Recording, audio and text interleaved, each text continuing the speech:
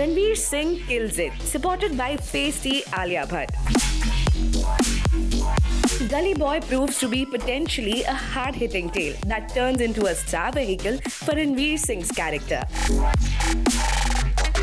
Ranveer Singh plays the character of Murad Ahmed, the protagonist of Gully Boy, Bollywood's first ever true blue street rapper.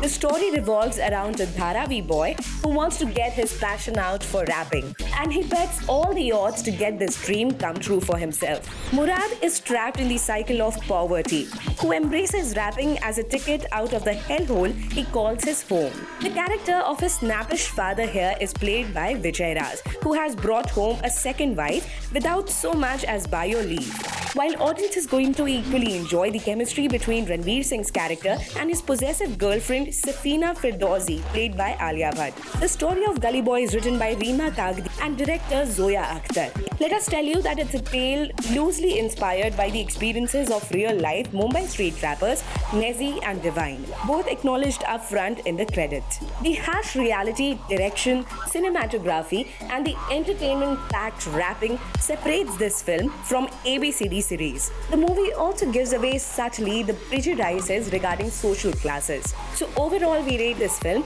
a 4 stars out of 5. What do you have to say on this? Leave a comment below and for more such updates, do subscribe our channel.